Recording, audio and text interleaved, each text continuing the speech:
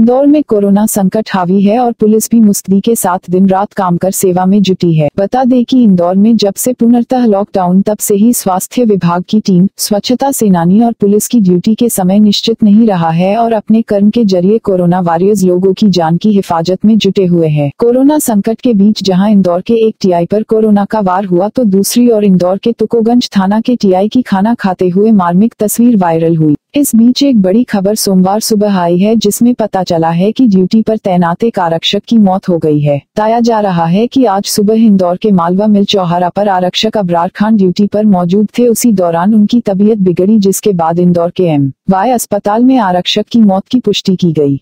Corona संक्रमण के दौरान अपने महकमे के एक काबिल आरक्षक की मौत की सूचना पर इंदौर आईजी विवेक शर्मा, पहले एम वाई अस्पताल पहुँचे और मृतक आरक्षक की पत्नी से बात कर जानकारी ली। आईजी इंदौर इसके बाद सीधे परदेशीपुरा थाना पहुँचे और उन्होंने वहाँ थाने के स्टाफ से भी बात की। आई जी इंदौर विवेक शर्मा ने बताया कि आज सुबह उन्हें सूचना मिली थी कि परदेशीपुरा थाना में पदस्थ आरक्षक की ड्यूटी के दौरान मौत हुई है।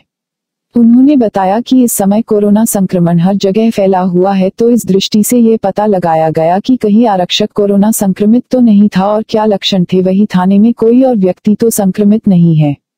उन्होंने बताया कि थाने के स्टाफ का स्वास्थ्य कैसा है, इसकी समीक्षा के लिए वो थाने पर पहुँचे हैं।